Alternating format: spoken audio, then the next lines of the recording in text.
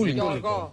Σε κανένα περιοδικό μπορεί να το έχει πει. Το ρε είχε πει παιδιά. νομίζω σε ένα Δεν το παιδί. σε κανένα περιοδικό μήνυμα φαντάζομαι παλιά, ότι θα το downtown είπε. και Είχε δεν κάνει το μια είπε. γυμνή είχε πει. φωτογράφηση, παιδιά, μια φορά. Μπορεί εκεί. Και η γυμνή φωτογράφηση τι πάνε, παιδί. Είναι Μπορεί Μπορεί να επειδή τελειώσει ήταν πολύ εκεί. σεξουαλική φωτογράφηση και αυτά έτσι ερωτική, μπορεί να κάνει. Γιατί ήταν ολόγυμνο στο εξώφυλλο, θυμάμαι. Εγώ σας το λέω, θα δοθούν διευκρινήσεις από τον ίδιο. Παιδιά και να τον καλέσουμε και εδώ πέρα. Τον έχουμε Αφού καλέσει είναι ήδη, φίλος ο τη εκπομπής ο Τι είπες, Γκλέτσο. Μαρία, κάτι θέλω να πει. Λέω, Μαρία; εξακολουθεί να μου φαίνεται περίεργο το το είπε τώρα. Δεν βρίσκω το λόγο.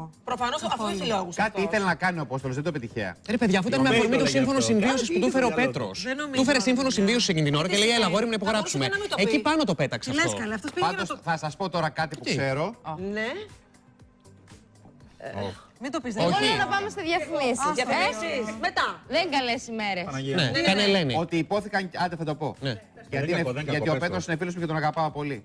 Ε, και το θεωρώ και μαγκάντρα. Ότι υπόθηκαν και άλλα πράγματα εκεί για το συγκεκριμένο θέμα τα οποία δεν τα ακούσαμε. ποτέ. Κοπήκα στο μοντάζ. Κοπήκανε.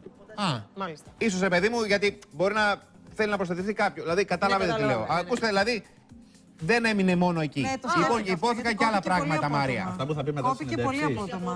Δηλαδή, σας το λέω αυτό Αυτά που τώρα. θα πει μετά Και εμείς λέγαμε, συνεντεύξεις. μα πώς δεν το δηλαδή πω στο περιμένουμε Πέτρο. μια εξέλιξη τώρα. Δηλαδή. Δηλαδή. Κυνήγα για χαλό.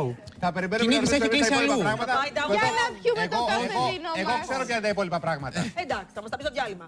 Εσύ θα κάτι πω να σου διάλειμμα. πούνε, δεν κρατιέσαι. Όλο καθόλου. το Δεν ρετάκι. κρατιέσαι, Τι να έτσι κάνω. Μα δεν το να είπε. πεις. Η Φέη